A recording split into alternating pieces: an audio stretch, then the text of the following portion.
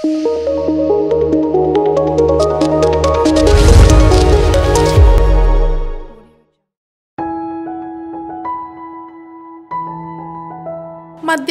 ചമ്പൽ കാടുകളിലെ കൊള്ളക്കാരിയും പിന്നീട് Indian parliament അംഗവുമായി പ്രവർത്തിച്ച വ്യക്തിയാണ് ഭൂലാൻ ദേവി. ഉത്തർപ്രദേശിലെ ഘോരാക്ക പർവ എന്ന കുഗ്രാമത്തിലെ മല്ലാ വിഭാഗത്തിൽപ്പെട്ട ഒരു ദളിത് കുടുംബത്തിലാണ് ഭൂലൻ ജനിക്കുന്നത്.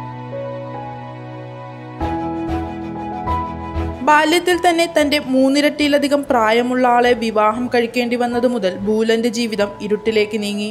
ബാല്യത്തിൽ തന്നെ ഭർത്താവിനാലും പോലീസുകാരാലും ചമ്പാരൻ കൊള്ളക്കാരാലും ഠാക്കൂറുമാരാലും നിരന്തരം ലൈംഗിക അതിക്രമങ്ങൾക്ക് ബൂലൻ ഇരയായി.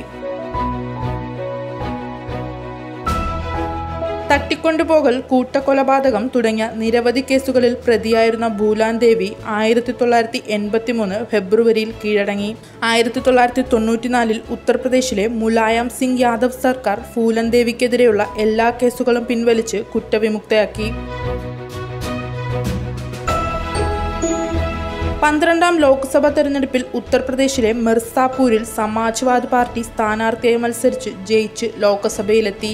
ഭൂലാൻ ദേവി എന്ന സാധാരണക്കാരിയായ പെൺകുട്ടിയെ ഒരു കൊള്ളക്കാരിയാക്കി മാറ്റിയത് അവളുടെ ജീവിതത്തിലെ ദുരനുഭവങ്ങളാണ്.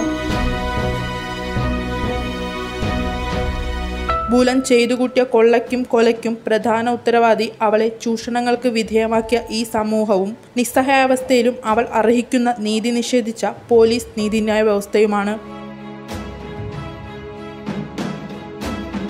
ജീവിതത്തിലെ പ്രതികൂല സാഹചര്യങ്ങളിൽ അടിപതറി വീണിട്ടും അതിൽ തളരാതെ മുന്നോട്ടു പോകാൻ ശ്രമിച്ച നല്ല കരുത്തുറ്റ ഒരു സ്ത്രീയായിരുന്നു ഭൂലാൻ ദേവി. രണ്ടായിരത്തി ഒന്ന് ജൂലൈയിൽ മുഖം മറച്ച മൂന്ന് അക്രമികൾ ഭൂലൻ ദേവിയെ വെടിവെച്ചു കൊന്നു.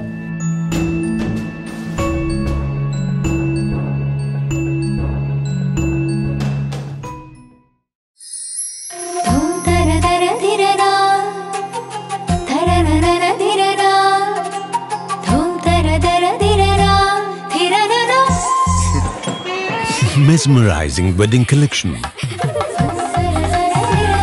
Tejaswini by Chungat Jewelry.